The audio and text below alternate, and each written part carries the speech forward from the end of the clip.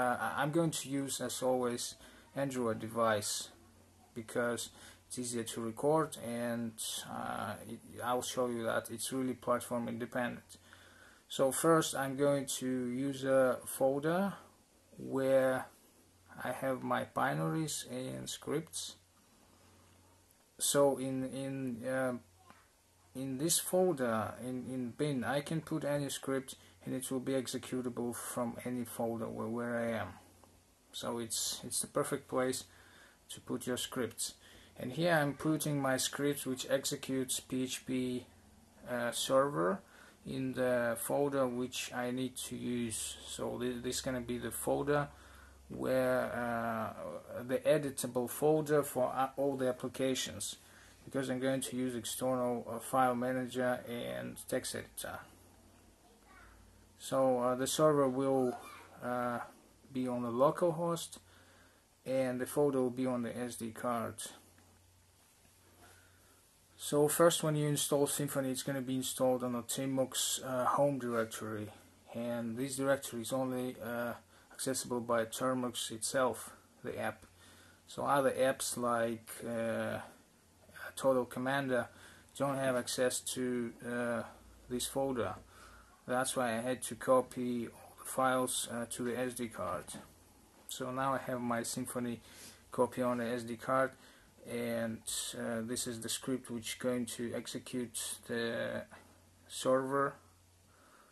Uh, now I need to give permissions to the, this script to be executed because this is still a Linux machine and on this machine you need uh, permissions for every executable file that's what saves us from viruses I guess. So Symfony is running now. Actually PHP with the Symfony home directory. Uh, now we go to localhost so first I need to create a controller and I select the text of the dummy controller they have there. It's a lucky number so I'm going to use it uh, not to have to uh, write everything myself. I'll just make corrections which I need for my own controller.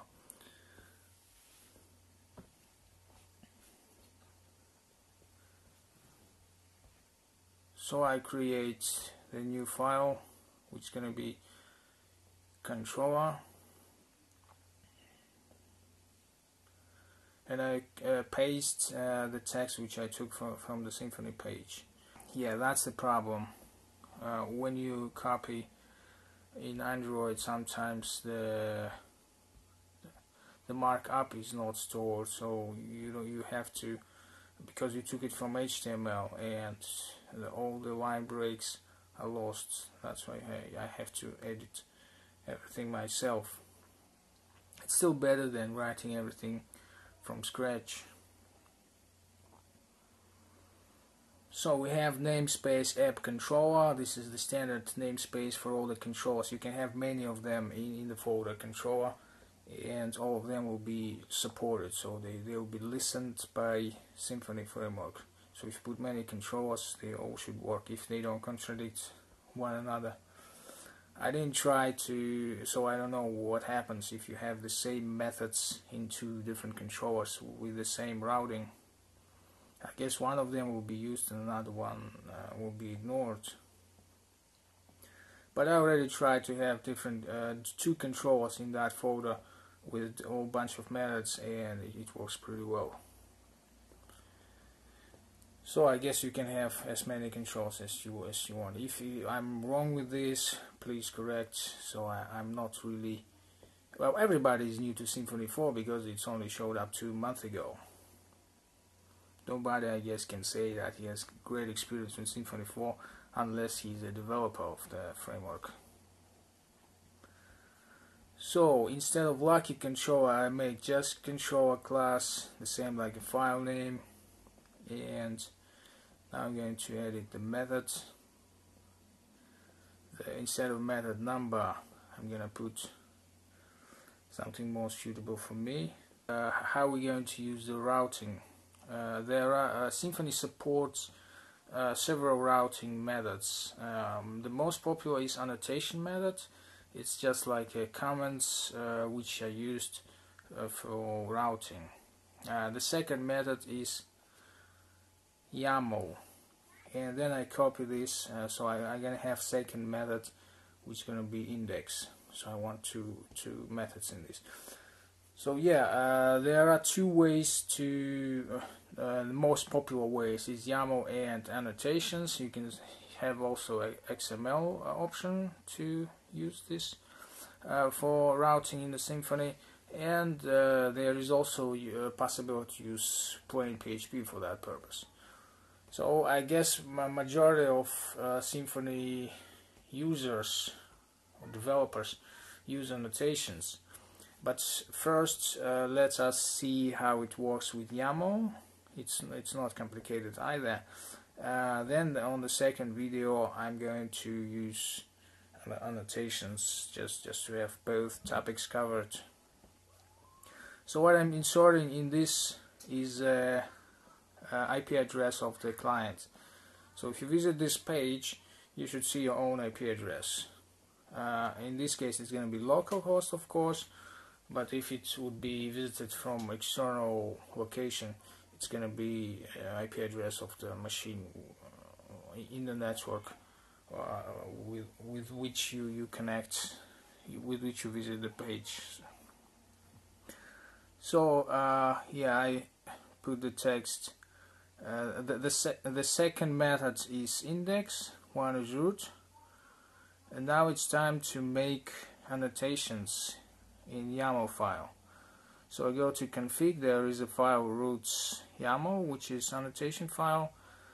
And I already wrote some code before into this to try. It didn't work before. So because I didn't have a controller class. Now I have a controller class and there are two methods inside, uh, index and root, which should be working now. Uh, this file should be working fine. This is the file which is which is correct, but uh, because uh, all those uh, things are copied to SD card, and Symfony when it is executed, it changes something in the code, so it will distinguish if the uh, the symfony is a dummy. Just copied from from the server. Or is it already modified. Uh, there is a, there are variables in index uh, PHP file in the public directory. And uh, you can use a whole bunch of plugins and I don't even need them because I prefer uh, edit everything and I write bunch of scripts to for shortcuts so I don't really have to bother with all that kind of things. And some people find it old-fashioned uh, uh, old-fashioned. They say uh, why not use a modern IDE uh, which I do sometimes but in, in this case I don't need it. So I can make these kind of short shortcuts or symbolic links to any files which I frequently edit and uh, for other files I can access with VFM file manager which will run in, in command line. So I, I don't really need uh, any external application for this. But I'm sure you can find if you are not a big fan of command line uh, a, a, pretty decent application to edit uh, to, to, like integrate development environment for editing your files for Android v text editor and I CNT is a controller. So I have symbolic link which points to controller file in the controller folder. So this file I, am going to edit now. I'm going to put uh, date string into this and see. Uh, by the way there's an issue with uh, um, caching if you use web browser for testing your uh, local web browser for testing your app uh, your your website uh, and it, it, caches something and then you make a change you don't see it right away because the browser uses the older version which is it stores locally.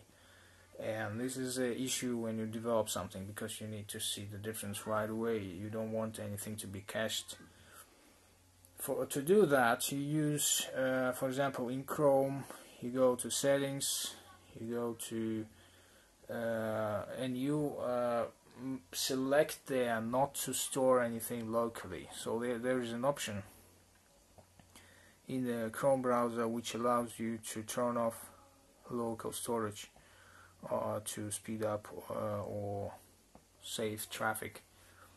In this case uh, you can have every page uh, loaded from the server not from the local cache and that allows you to see the difference right away. That's exactly what you need as a developer. I don't know what uh, other Android browsers how they are configured so so that, that's why I use Chrome because I find it very similar to Chrome of the uh, PC Linux version so I execute server again and now I should change I should see the change once I refresh the page